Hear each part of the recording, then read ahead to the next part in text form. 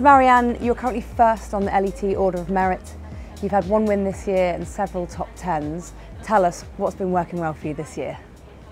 I feel that the trust in my golf swing has been a lot better this year than last couple of years. Um, I started to really work hard on it, or work hard on the changes probably 18 months ago.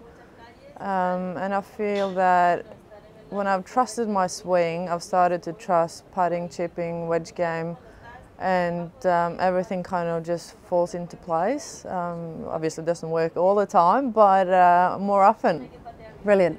So, if you were to summarise your year, how would you put it into words?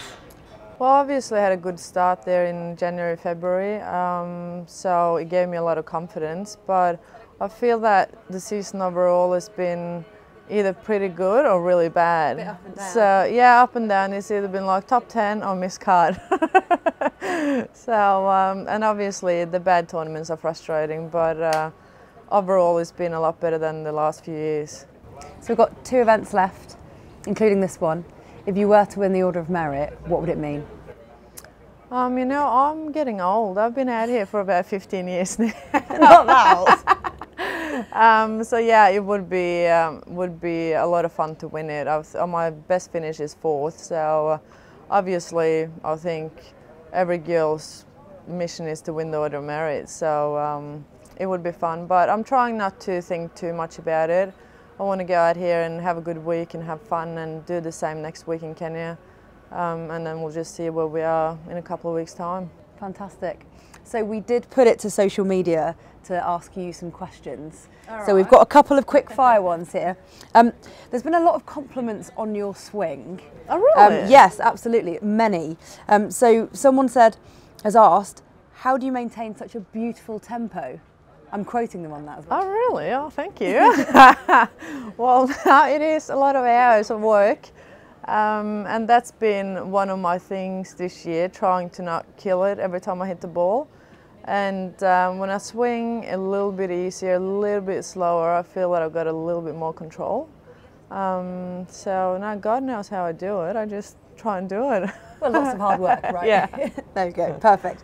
Um, what keeps you motivated? Obviously, you've said you've had a bit of an up and down year. So how do you maintain that momentum? Well, this year it's been the number one on the order of merit that has been my goal, and um, so obviously when I've been not been on the top for very long, but I've been there somewhere, I've had a chance.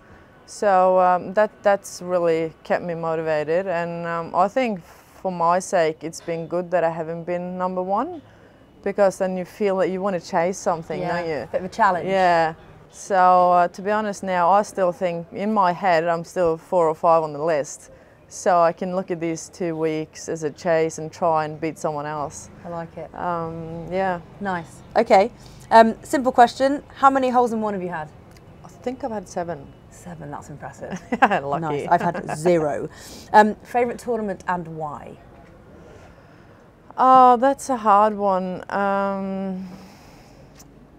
I love Dubai. I like going to Dubai. So I think uh, probably course, weather and food is why. Excellent. Good decision. Um, what do you love most about golf? I love that every day is really is a different day. you know that you always have to try and find the good feeling and even if you go out there and you don't feel great, you can still shoot five on the par. Yeah. That's the thing about this game that just amazes me. I, I love that. Brilliant. So it's the challenge. Absolutely. Nice. Um, Camilla Lennarth has asked, what is your favourite flavour ice cream? I think there's an in-joke going on here which you may have to explain. Um, well, I don't think I can explain it on camera. NFW, not for work. Ju just say um, cookies and cream. I like cookies and cream. Okay, yeah. cool. Good. I like that one. Um, the next question I'm not very happy with. Um, apparently, they've asked, "Have you got any fashion advice for me?" I'm not impressed with that question. That, like they're mean to me mm. because um, people don't think that I dress very well. So my fashion I think it was advice, a serious question. I genuinely oh, think is it, it? I think it was a serious oh, really? question. Oh, I so I think it was more of a dig at me. oh, really?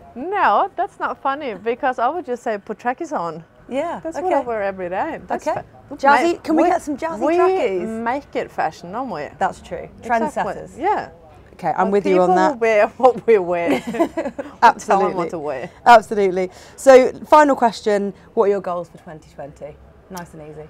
Um, I haven't really thought that far yet. Uh, obviously, it is the Olympics. I want to play the Olympics, but um, uh, my head needs to rest for at least a week or so before I even start thinking about it. I'm tired. So, no goals yet.